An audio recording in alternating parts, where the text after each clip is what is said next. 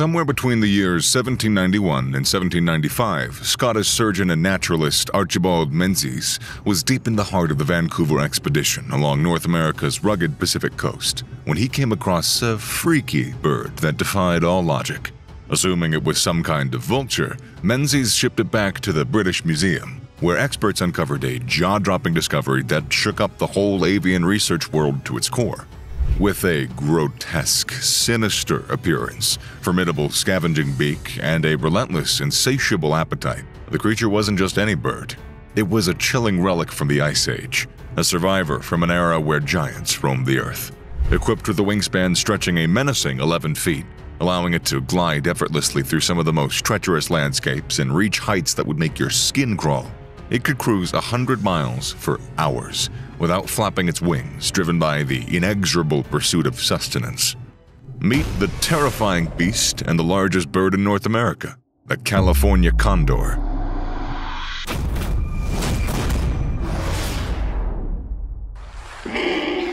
Back in the late Pleistocene era, around 40,000 years ago, the ancestral forms of the California condor soared majestically over the vast, untamed landscapes of North America. These magnificent birds, with their gigantic wingspan and keen eyes, would have a feast fit for a king on the colossal remains of megafauna like mammoth, bison, and giant ground sloth, which were in great numbers, providing an abundant food source for the condor's scavenging habits and insatiable appetite.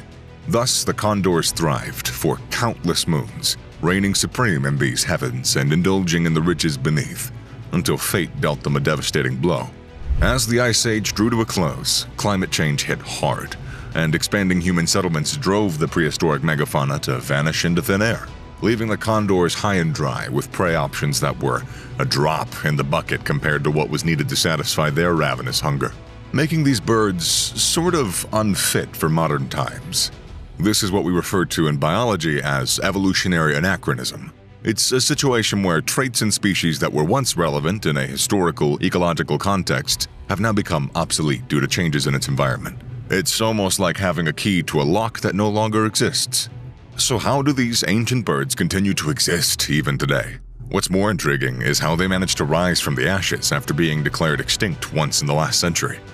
Well, that's a tale for later in the video. First, let's give them a proper introduction. Gymnogyps californianus, commonly known as the California condor, is a New World vulture and the rarest and largest North American bird. Being the last member standing in its genus, this giant rules the roost as one of the most infamous scavengers known to man. Their generic name, Gymnogyps, comes from Greek, which means naked vulture, while the term Californianus pinpoints its whereabouts, and you guessed it, California. When you come face to face with a fully grown California condor, the most bone chilling aspect is its downright terrifying presence. Dressed in all black, save for those huge white patches on the underside of its wings, it looks like something that flew straight out of hell. This beast has gray legs and feet, an ivory colored bill, and creepy brownish eyes that seem to stare right through you. As for size, the female condor doesn't quite measure up to the males, which is a rare exception among birds of prey. On the whole, these creatures can stretch from 43 to 55 inches long and boast wingspans from a whopping 8 feet 2 inches to 9 feet and 10 inches. Some of them, however, have been spotted with even bigger wingspans, reaching up to 11 feet, making them the kings of the North American avians. Not only that, condors are so darn huge that they could be mistaken for a small, distant airplane, perhaps, which might happen more frequently than mistaking them for other birds. And no wonder why because their powerful wings allow them to fly high and mighty, reaching heights comparable to small planes up to 15,000 feet. What's more is that they can do it effortlessly without flapping their wings for over an hour. These beasts of the air can also hit speeds of up to around 56 miles per hour, covering 100 miles in a single day as they scour the land for their next meal. During these epic expeditions, their dense plumage serves the crucial purpose of streamlining their beefy bodies, cutting down on wind resistance, and keeping their temperatures just right up high. Beyond flight, though, these feathers, reaching all the way up to their neck bases, culminate in a black frill that sort of makes a bold fashion statement. However, like some other birds, they defecate on their own feet to cool themselves, hence ruining this impressive appearance. On top of that, it has a bald head, covered in skin that can change colors according to its mood, going from a sickly yellow to a bright, flaming reddish orange. And while the bald head makes it even more creepy, it's actually a blessing in disguise. It helps this creature stay clean while feasting on carrion, which would have been a real mess if it had to shred and tear through the corpses with a feathered head. Anyways, no matter how much they try and dress it up in a tuxedo, one thing remains crystal clear. They are ugly. Like demonic. So much so that this bone chilling appearance has historically made them a centerpiece of countless human mythologies. There are tribes in North America that believe the condor actually gave humanity a second chance after God unleashed a devastating flood. On the flip side, others view it as a harbinger of destruction, claiming it snatched humans, ripped off their heads, and drank their blood to bring about disasters and whatnot. While this doesn't add up in today's day and age, it goes to show how outlandish and bizarre this creature must have seemed to the people of old. On top of that, these mysterious birds also bear the burden of being one of the heaviest in flight, weighing in at a whopping 15 to 31 pounds. And with this size comes an insatiable appetite. This is where the penny drops and evolutionary anachronism starts to click. As previously stated, the sheer number of the ancient giants and their lifeless bodies provided an ideal feast for those colossal scavengers to devour and keep themselves thriving. However, with the animals going extinct left and right, the California condors were left with human scraps and small carrion that barely satisfied their immense hunger. Today, they feast on terrestrial mammal carcasses like deer, goats, sheep, donkeys, horses, pigs, cougars, bears, or cattle, or etc. Alternatively, they may have a field day feasting on the bodies of even smaller mammals like rabbits, squirrels, and coyotes, or aquatic mammals like whales and sea lions, switching from freshly killed carcasses to decayed food when required. And since they lack a sense of smell to detect food, when they're on the hunt for carrion, they usually just keep their eyes peeled for smaller scavengers like turkey vultures and corvids to lend them a helping hand in sniffing out that meal. The condor's massive, razor sharp beak allows it to cut through the toughest of heights, unlike a turkey vulture. So the latter has no choice but to let the condors have a go at the meal first. Once the condor's had his fill, the turkey vulture and other scavengers can have their turn, creating a win win cleanup situation. But it's not like the condor always leaves something for the other scavengers. They can go days on end with an empty stomach, but when they stumble upon a meal, they can devour several pounds in a single go, storing it away in a special part of their stomach.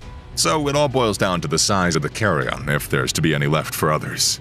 In case a vulture decides to not let the condor share their food, the big birds wouldn't think twice about showing them who wears the crown as the top scavenger. This trio of turkey vultures stumbled upon a bite sized morsel and made the unanimous decision to chow down on it solo, leaving the condor out of the picture. But the big bird swoops down on one of the vultures and teaches it a lesson that it won't forget. This intimidation over carcasses reigns supreme with condors, scaring away almost every other competitor until it's the golden eagle. And when it comes to eagles, these showdowns can be a tough nut to crack for the lone condor and a golden eagle might go as far as to knock off a condor in a battle for kills. However, for a pack of several hungry condors, even a formidable golden eagle is of no match. Anyway, this whole feeding episode of the California condor is actually an incomplete adaptation to its new ecosystem. While it still scavenges large animal carcasses today, they are nothing compared to the massive meals it used to feast on in prehistoric times. Experts think that this scarcity and drastic decline in these giant birds is because there's just not enough food to go around anymore. On top of that, these super rare birds breed at a snail's pace, which only adds to the problem. Their breeding process, though, is quite a spectacle. They start looking for a partner once they hit adulthood at about six years old. To catch a mate's eye, the male puts on a show. He turns his head red, puffs out his neck feathers, spreads his wings, and slowly woos the female. If she bows her heads to accept him, they are partners for life. Once they've mated, the female lays one bluish white egg every other year. These eggs hatch after 53 to 60 days of careful incubation by both parents. The chicks come out with open eyes, but it can take them up to a week to fully break free from their shell. Interestingly, their egg laying process is the slowest of any bird species, which makes it super tough for these giants to cope with the ongoing drop in their numbers. And when combined with modern day threats like pollution, hunting, and lead poisoning, the species was declared extinct in the wild in 1987 and were subsequently brought back to northern Arizona and southern Utah in one of the most costly species conservation projects in the U.S. history, costing over $35 million. Still, these avian behemoths are up against a wall with a constant threat of extinction. With only 93 mature individuals left, they've earned themselves the title of being a critically endangered species on the IUCN Red List. What's your take? Do you think that these big birds will be here to stay for another century? Or is their age old saga about to kick the bucket because of human activities? Share your two cents in the comment section down below, and as always, I will catch you in the next one.